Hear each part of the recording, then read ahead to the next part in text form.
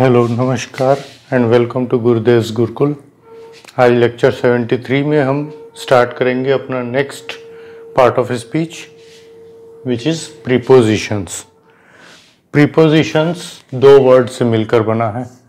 One is pre plus positions position means location कोई चीज़ किस जगह पर रखी है को शो करने के लिए हम पोजीशन का यूज़ करते हैं। और pre means predefined predefined positions that are prepositions so the definition comes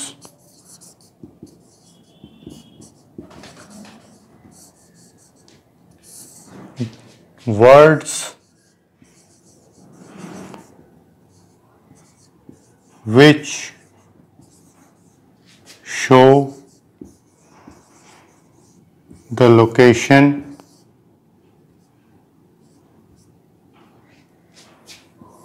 location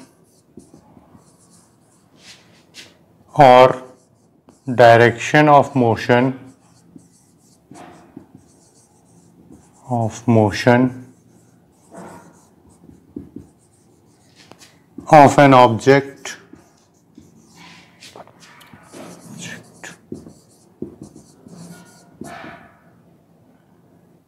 relative to other noun or pronoun means कोई भी ऑब्जेक्ट किसी दूसरे ऑब्जेक्ट के रेस्पेक्ट में किस जगह पे रखा है या किस जगह से किस जगह की ओर मूविंग कंडीशन में है। स्थिर है या मूव कर रहा है। और मूव कर रहा है तो किस डायरेक्शन में मूव कर रहा है? With respect to another object तो उसको हम कहते हैं, ऐसे वर्ड्स को हम कहते हैं prepositions for example on on का यूज़ हम कब करते हैं? जैसे सपोज़ हमारे पास एक बॉक्स है। और इस बॉक्स के ठीक ऊपर सटा हुआ ही हमने एक बॉल रख दिया। ठीक? एक ऑब्जेक्ट हमारा हो गया बॉल दूसरा ऑब्जेक्ट हो गया बॉक्स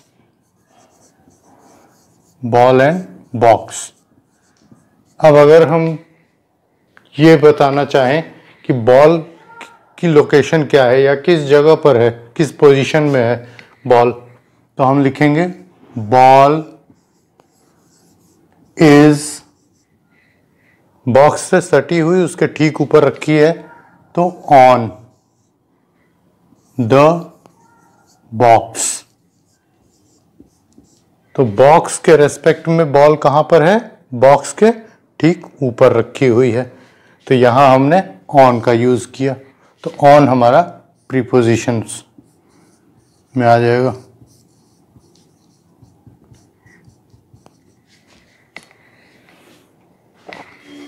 अब एक मूविंग कंडीशन का एग्जांपल देखिए।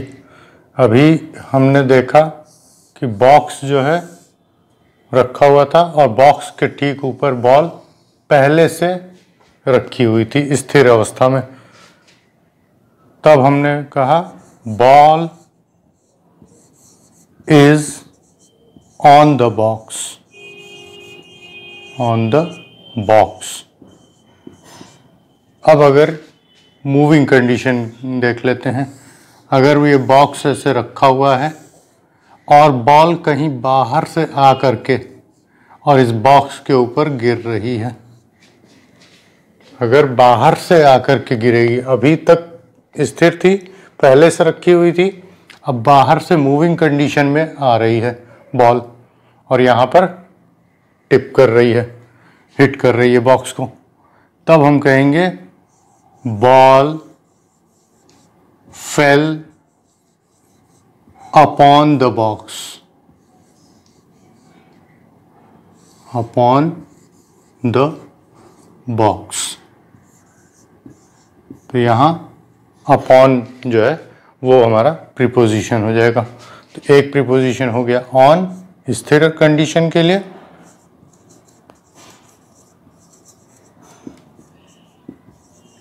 और दूसरे मूविंग कंडीशन में अगर आएगी बॉल तब उसके लिए हम यूज़ कर रहे हैं अपॉन ये भी एक प्रीपोजिशन है।